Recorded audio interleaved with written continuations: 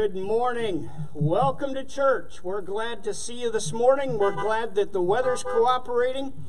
And it's good to see a Toronto Maple Leafs jersey in the crowd this morning. Amen. God bless Ron Mater.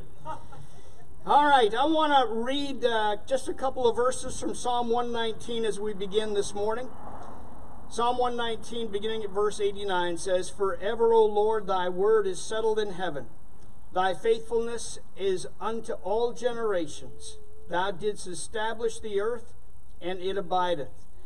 We are thrilled that we have the Word of God, that it uh, gives us exactly what we need to know in this day and age, and that we can certainly be encouraged and edified in difficult times through it. And we're glad that you're here this morning. We are going to begin with a word of prayer and then we'll uh, get Danny up to lead us in a song. Father, we are truly grateful for this opportunity. We thank you for each one that is here, for those who will be coming to the 11 o'clock service. Lord, I pray that you may indeed uh, have your will and way in our hearts. Father, may you be uplifted and glorified. May we leave here a different people than we were when we came. And Father, we will be sure to give you the thanks and the praise, for you alone are worthy. For we pray these things in Jesus' name. Amen. Good morning. We're going to open by singing the chorus to Family of God and Thank You, Lord.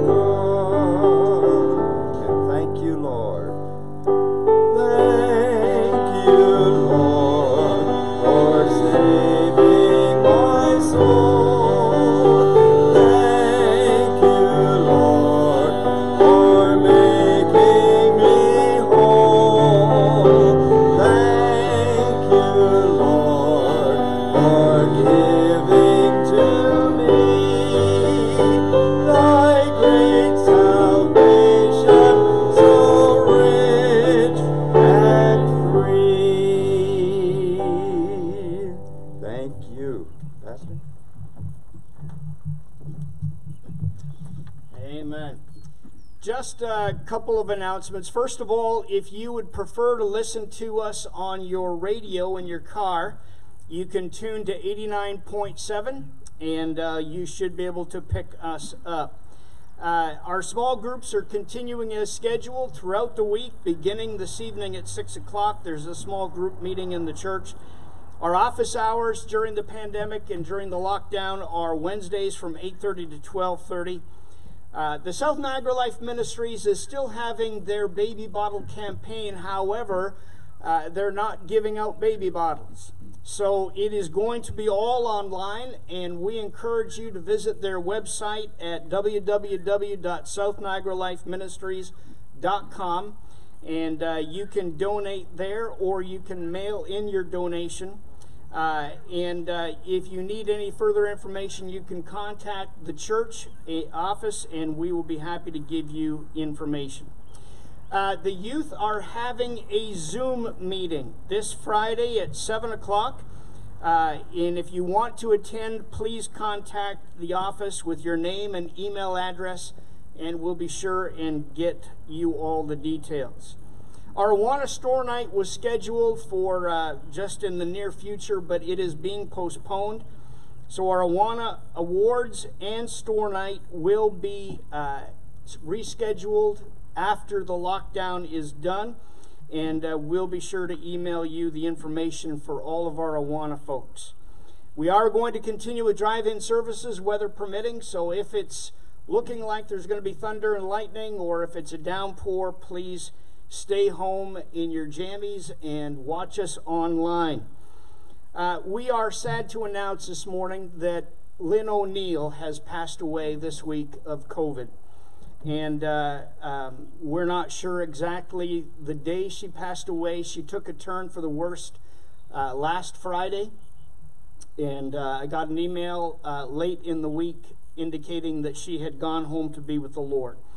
Uh, Lynn and Russ O'Neill have uh, been to this church several times.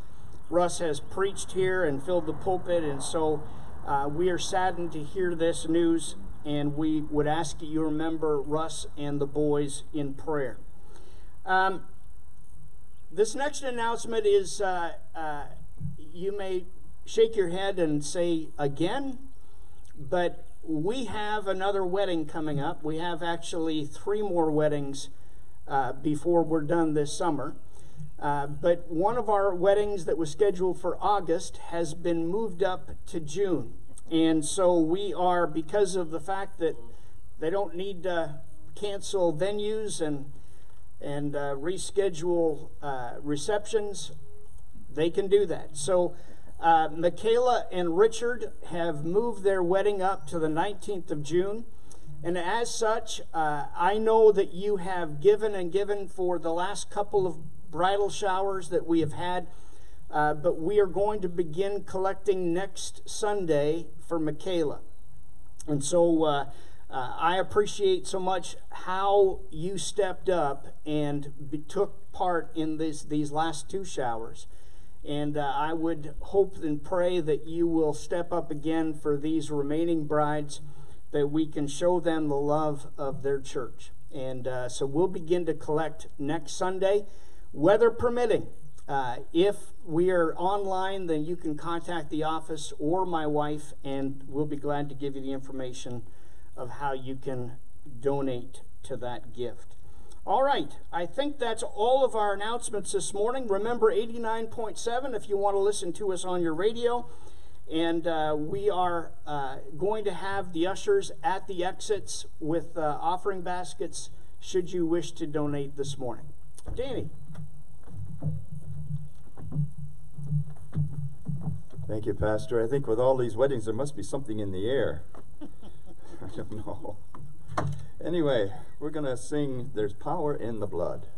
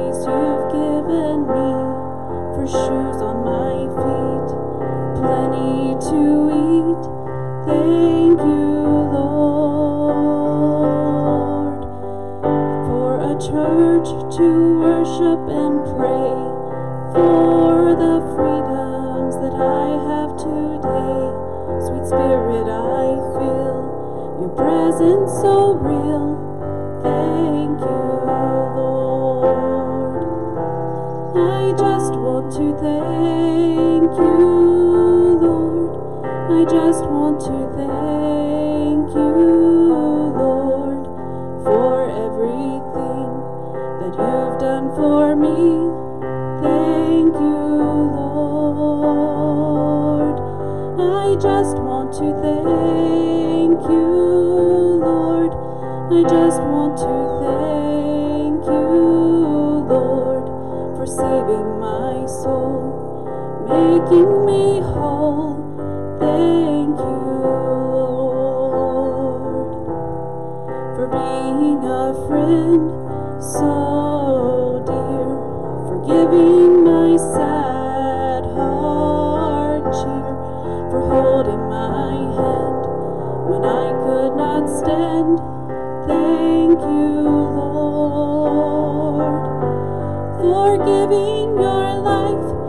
for me on the cross of Calvary, for taking my place, your mercy and grace. Thank you, Lord. I just want to thank you, Lord. I just want to thank you, Lord, for everything that you've done for me. Thank you, Lord.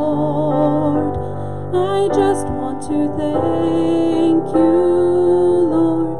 I just want to thank you, Lord, for saving my soul, making me whole.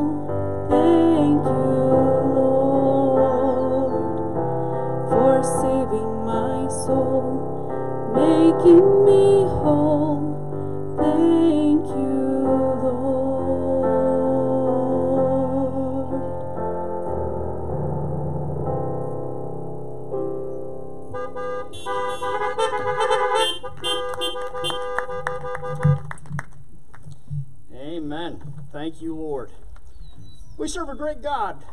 Would you believe that? I'm gonna I'm gonna get relax and stay here a while. We are uh, we are so fortunate. Uh, what an awesome God we serve, and uh, all of this and heaven as well. We are certainly blessed, and uh, we're so grateful that we're able to gather together this morning.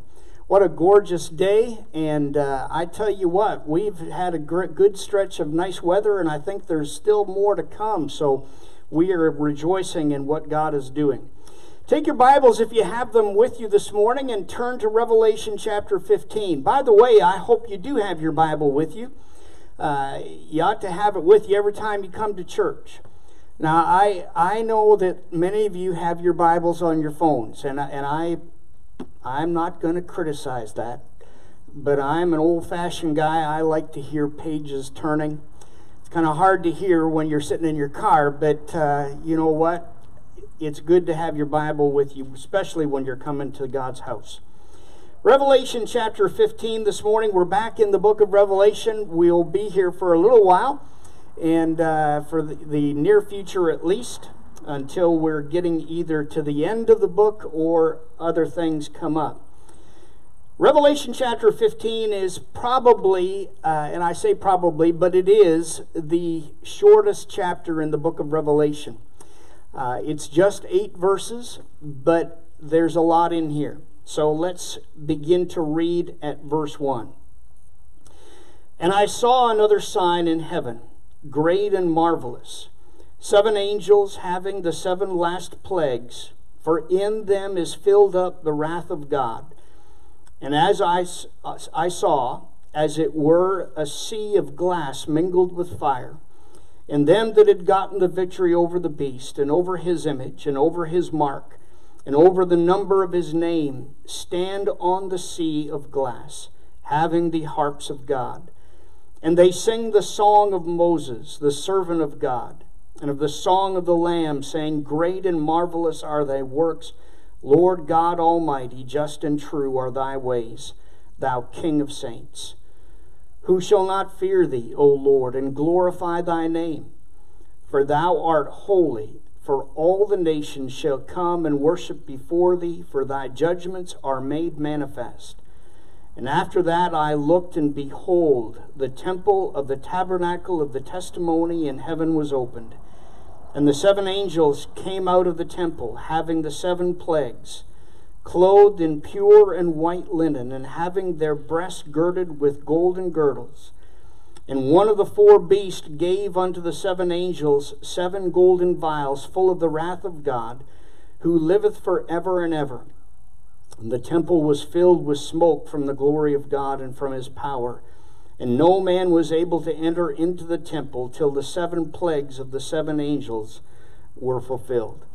Father, I pray this morning as we come to your word that you may indeed take it and bless it to our hearts. May you open our eyes and our understanding. May you help us, Father, to truly uh, understand the importance of the book of Revelation. Help us, Father, as we delve within its pages to learn of what will happen in the future.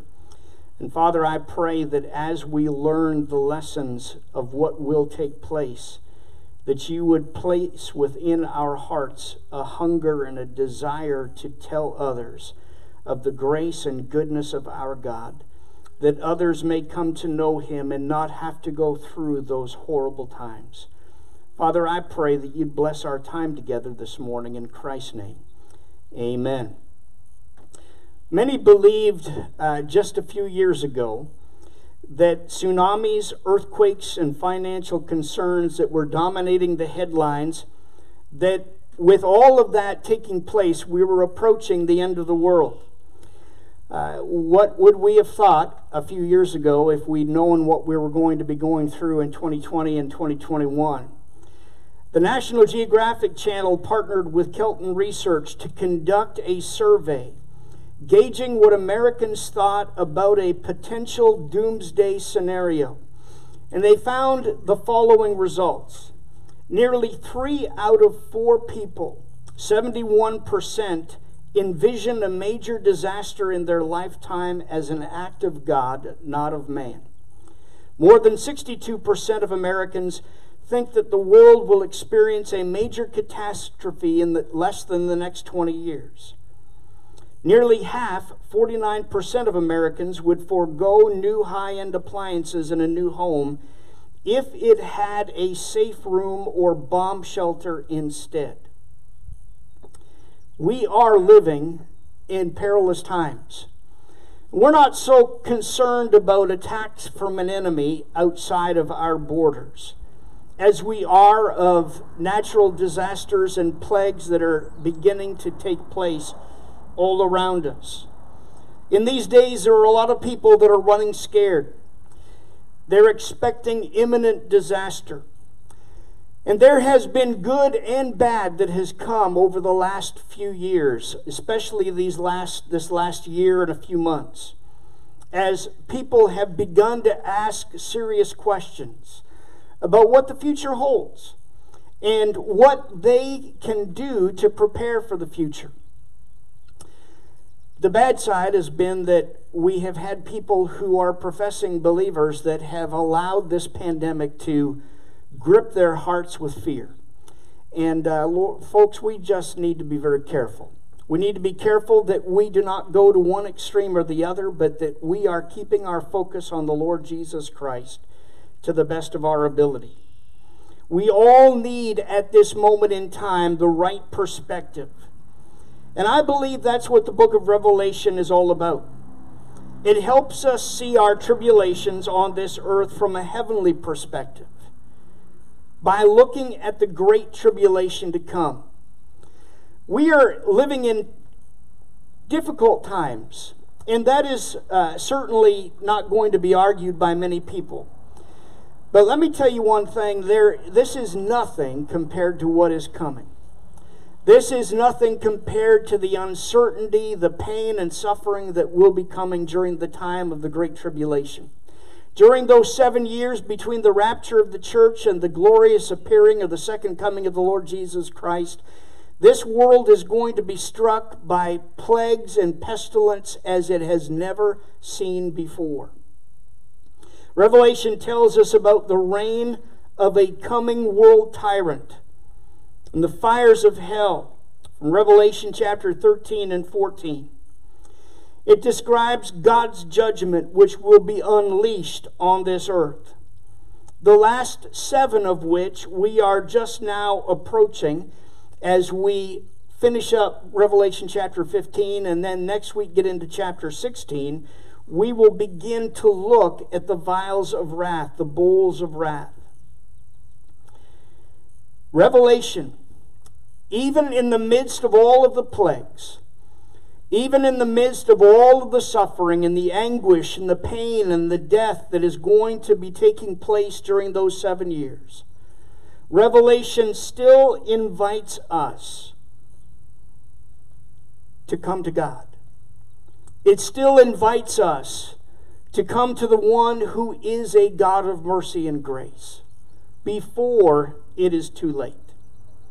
Revelation invites us to look at our trials from heaven's perspective, to see the future from God's standpoint, understand world events from a divine point of view. Revelation chapter 15 is where we get that divine point of view. When the tribulation begins after the rapture of the church, during those first three and a half years, there will be the seven seal judgments that will take place on the earth. When the Great Tribulation or the time of wrath itself begins, which is at the three and a half year mark of that seven years, there will be the seven trumpet judgments that will take place upon the earth. And then at the very end, or nearing the end of the tribulation period, there will be seven more judgments. The seven bowl judgments, or seven vial judgments. The bowl judgments will end human history as we know it. And so today's passage deals with the heavenly preparation for that final seven judgments. This is the preparation that will be made for the launch of the judgments that will end all of the ungodliness and evil that man has brought upon this world. Look at Revelation chapter 15, verse 1 with me. And I saw another sign in heaven, great and marvelous, seven angels having the seven last plagues, for in them is filled up the wrath of God. In the midst of the tribulation, we see, first of all, seven angels, and we see the end of pain. By this time in the book of Revelation, we're coming to the end of the tribulation judgments. The seven bowl judgments are just about to begin. And they will come in rapid succession during that chapter 16. Uh, they will come one after the other. Now, keep in mind that during the tribulation period, there will still be people coming to faith in Christ. There will be tribulation saints that will accept the gift of salvation and will be following Christ and seeking to live for Him in very difficult and challenging times, unlike anything we've ever seen before. Having to meet in our parking lot or online is nothing compared to what is coming for those who accept Christ during the tribulation period. They are going to be experiencing plagues like we have never dreamed possible. They're terrible plagues. But with them, God's wrath will be spent. God's anger will be finished, and God's blessing will finally come as Jesus returns to this earth to reign for a thousand years. Now, I remind you again that we go through tribulations in this lifetime. We go through times of testing and difficulty and hardship. But nothing that this world can give us at this moment in time is to be compared to what is coming, the horrors and the plagues that will one day come upon this world. God's anger will not last forever. During those seven years, we see God's anger poured out and we see judgments poured out. But I believe that even in the midst of those judgments being poured out, it, it is an attempt to get people's attention. It is in an attempt to get them to turn towards God, to accept Him as their personal Savior. The pain that we go through today is fleeting, it's temporary. It will pass and it will disappear. And so will the pain and the tribulation period. It is only for a short period of time. But the suffering of that time is certainly going to be much more intense than it is right now. Though pain is temporary, the praise will last forever. That's the perspective of heaven not only for tribulation saints, but for us as well who go through much lesser tribulations in this life. Psalm 30, verse 5 puts it this way For his anger endureth but a moment, in his favor is life. Weeping may endure for the night, but joy comes in the morning. In the 1976 Montreal Olympics, a Japanese gymnast by the name of Shun Fujimoto broke his right knee during the floor exercises. Most expected him to withdraw from competition. So you can imagine their surprise when they saw him the next day competing on the rings. He was performing well, but everyone wondered how he would handle the dismount. Fujimoto came to the end of his routine and without hesitation flew off the rings with a twisting triple somersault. There was a, mo- a moment of intense quiet as he landed hard on his wounded knee. And then the audience gave him a thundering applause as he stood his ground.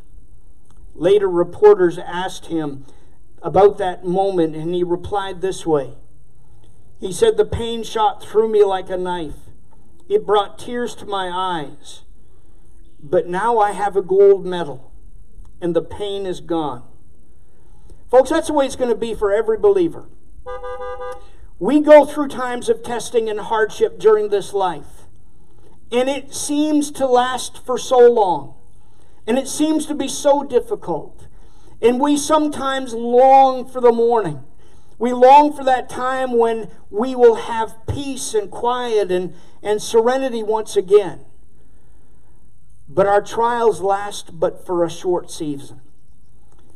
But our praise and our enjoyment of God's blessings will be forever.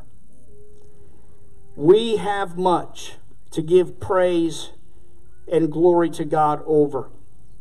Even in the times of testing, even during times such as this, God is doing some incredible things. Folks, I wish I could spend a morning and just tell you all of the things that God is up to, even in this small body of believers. but He is moving and working in people's hearts and lives like I've never seen before. And I am excited to see what God is doing. And I'm excited for us to be able to get back into our building and begin to worship God again together rather than in a parking lot viewing each other through our car windshields. But God is doing something in these days. And as hard as it may be, and as hard as we think it is, and as difficult as we feel it is in our own personal lives, God is up to something exciting. The second thing I think we see in chapter 15 is a sea of glass and the peace that is ours, even in the pain. As children of God, we need to be calm and secure in the sovereignty of God. Look at verse 15 with me. And I saw as it were a sea of glass mingled with fire, and them that had gotten the victory over the beast and over his image and over his mark and over the number of his name stand on the sea of glass, having the harps of God. These that are listed here are the tribulation saints. These are they that have trusted Jesus Christ during the tribulation period. These are those that have refused to accept the mark of the beast. They refused to bow down to his image. They refused to do anything to obey or adhere to what the beast was trying to do. We find the mark of the beast described for us in Revelation chapter 13. As a result of this, many of these tribulation saints, in fact, I would say most of them, will not make it to the glorious appearing of the second coming of the Lord Jesus Christ. Because the beast will kill them. And from earth's perspective, it will look like Satan has won. But from heaven's perspective, they are described as those who have conquered the beast. Even when God's fiery judgment is flashing all around us, like these tribulation saints, we can be secure on a sea of glass. We can be at peace. We can be calm and unafraid as we keep our focus on the Lord Jesus Christ instead of my circumstances. It's like Daniel resting in the lion's den at night while King Darius is unable to sleep in his satin sheets. That's the way it is for those who have put their trust in Jesus Christ. We can laugh at the lion that is roaring. We can be at peace and secure even with the fire of judgment all around us. And more than that, we can sing praises to our King. Revelation chapter 15, verses 3 and 4. And they sing the song of Moses, the servant of God, and the song of the Lamb, saying, Great and marvelous are thy works, Lord God Almighty. Just and true are thy ways, thou King of saints. Who shall not fear thee, O Lord, and glorify thy name? For thou art only art holy, for all nations shall come and worship before thee, for thy judgments are made manifest. Even though they have been going through the great tribulation, even though they have experienced horrors that we cannot imagine, they are praising God. They are exalting Him. They are announcing that His ways are right. There's no hint of any complaints at all. There's no one saying, God, why did you allow this to happen? Why did I suffer so much? And why did you allow your people to be tortured and killed? They have no questions for God because their questions have been answered in heaven. From heaven's perspective, they see that God's ways have been right all along, and they are singing the praises of God. My dear friends, that's what we're going to be doing in heaven one day. We're going to be singing the praises of God, and though it is difficult for this moment in time, joy comes in the morning. And the morning is fast approaching. We will sing his praises because we will see that his works are remarkable. Verse 3 says, Great and marvelous are your deeds. God's deeds are amazing, they're beyond our human comprehension. Augustine, the great fifth century theologian, was strolling the beaches of the Mediterranean Sea one morning. And he was engaged in deep thought. He was trying to understand the nature of God. Then his thoughts were interrupted when he saw a little boy running towards the ocean with a bucket. He watched the boy fill the bucket with water and ran back up the beach to pour that water into a hole in the sand. Within seconds, the water was gone, soaked into the sand. Again, the little boy went down to the ocean with his bucket and filled it with water and ran back to the hole and poured the water in, and again the sand swallowed up the water. Augustine approached the boy with a smile and asked him, What are you trying to do? Little boy, a little annoyed at the interruption, replied, I'm trying to put the ocean in this hole. And then it struck Augustine that he was behaving a lot like this little boy. He was trying to pour the ocean of truth about God into his little head. And he was having no more success than this little boy was with his bucket.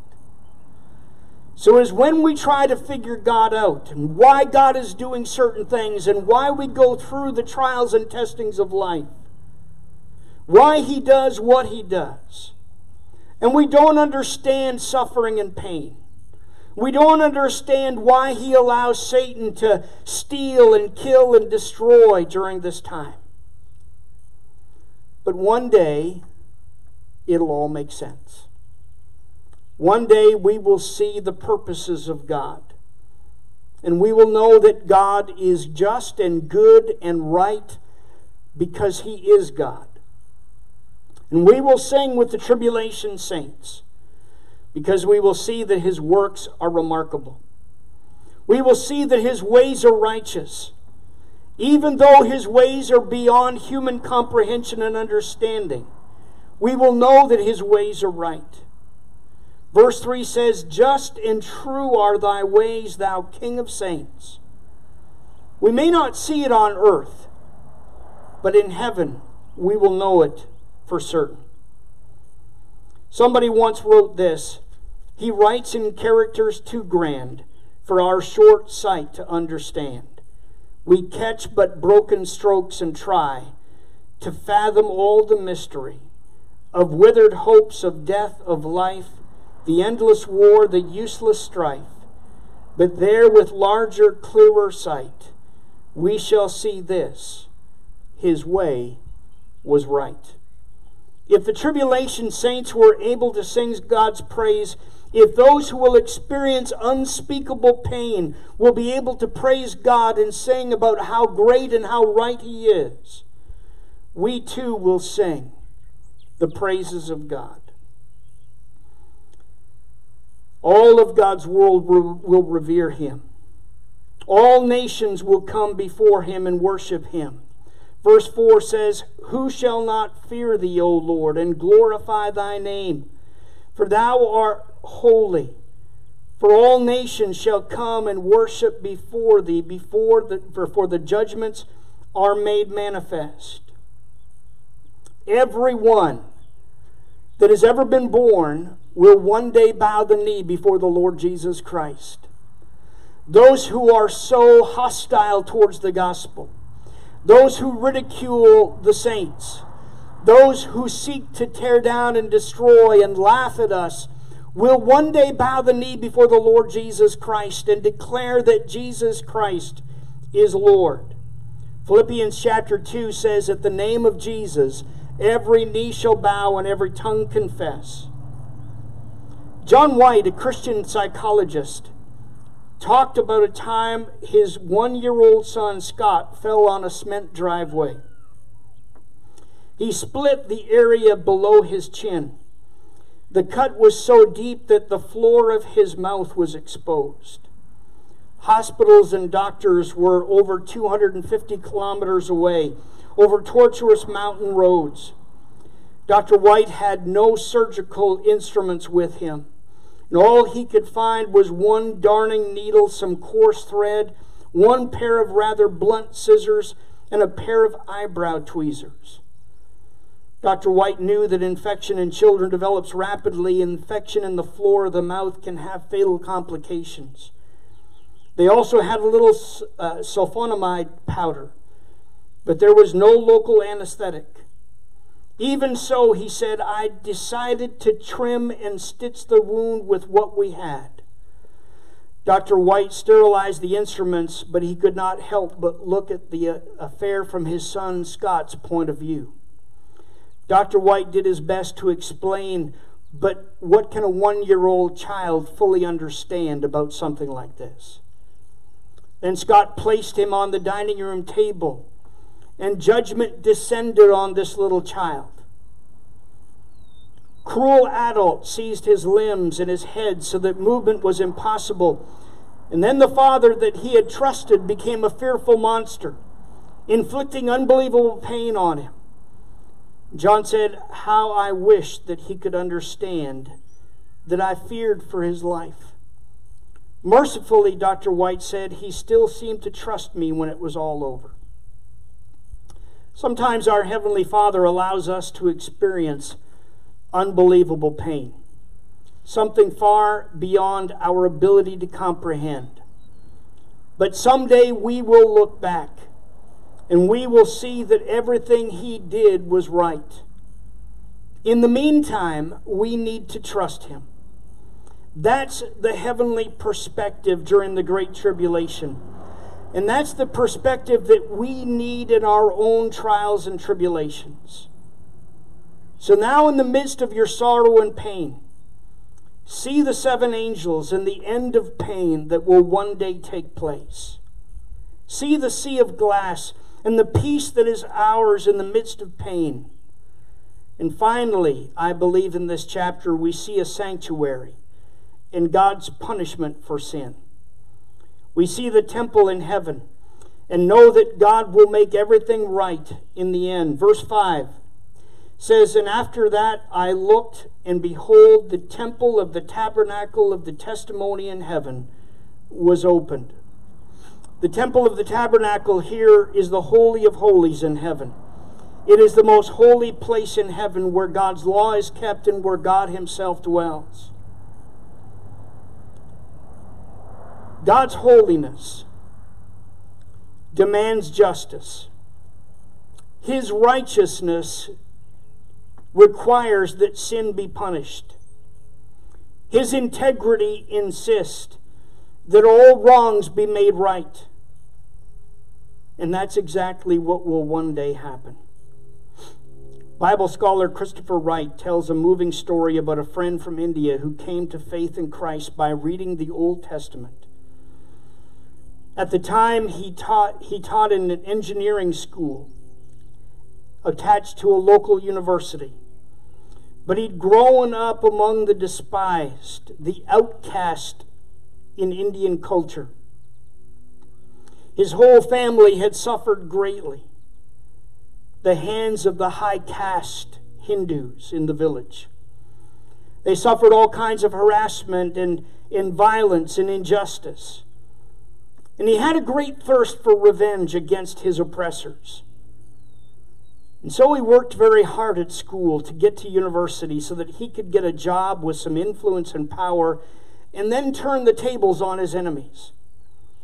The day he arrived at the university, he found a Bible translated into Telugu, his state language. He'd never read the Bible, though he knew that it was the Christian's holy book. He opened it at random and started reading the story of Naboth and Ahab in 1 Kings chapter 21. It's the story of unjust Ahab who uses his power to steal the land from Naboth, an ordinary farmer. The story had so many familiar elements that this young man said, This is my story. This is what my family has experienced at the hands of the higher caste. They'd experienced theft of land and false ag- accusations and murders and brutality. But then he read on and he was amazed to find about another man called Elijah, who, in the name of some God of the Bible, denounced King Ahab and said that he would be judged and punished by his God. This was announced to this student from India. He had millions of gods within Hinduism that he could have chosen from. But none of his gods had taken his side growing up. Here was a God who took the side of the suffering ones and condemned the government and the powerful of their, for their wicked deeds. This young man said, I never knew that, that such a God existed. And as he continued to read the Bible, he learned about Jesus, his life and death and resurrection. He also learned that he needed to forgive. And he began the road towards faith, started by meeting God through the Old Testament. The God who takes the side of the oppressed. My friends, regardless of what you're going through right now, God is on your side.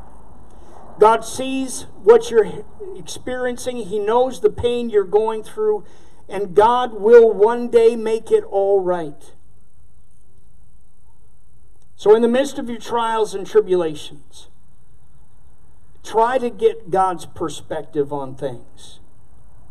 See these seven angels and the end of pain. See the sea of glass and the peace that will one day be ours. And see a God who will one day make all things right. But even in the midst of all of this judgment, God's plea is for those who don't, know Him to come to Him by faith, to trust Him as their personal Savior. In 1902, Adelaide Pollard was going through what she described as a distress of the soul. She felt that God had called her to missionary service in Africa, but she was unable to raise the necessary funds. In her state of discouragement, she attended a little prayer meeting one night where an elderly woman prayed this It really doesn't matter what you do with us, Lord. Just have your way with our lives. That night, Adelaide Pollard put her thoughts on paper. Five years later, in 1907, George Stebbins put those words to music, and they've become one of the favorite hymns of this day. Have thine own way, Lord. Have thine own way. Thou art the potter, I am the clay. Mold me and make me after thy will, while I am waiting, yielded and still. Perhaps you're experiencing this morning a distress of the soul. The same type that Adelaide Pollard described. I would urge you this morning to make her song the prayer of your heart today. Have thine own way, Lord. Have thine own way. Father, we are thankful for this time together. I pray that you may help us, that even as we study a book of judgment, that we would see your hand of grace and mercy in the midst of it, trying to get people's attention trying to get people to come to you. Lord, I pray that in these days, though they be challenging, God, help us to understand that one day suffering will end. One day it will all make sense. God, I pray that you would help us to be faithful in doing the work that you've called us to do, even in the midst of our suffering. We pray these things this morning in Jesus' name. Amen.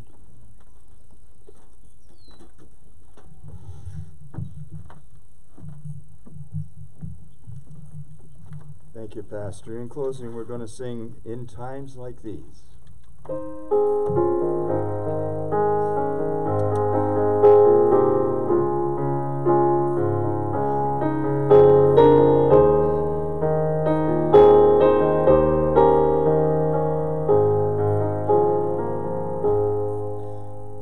times like these, you need us.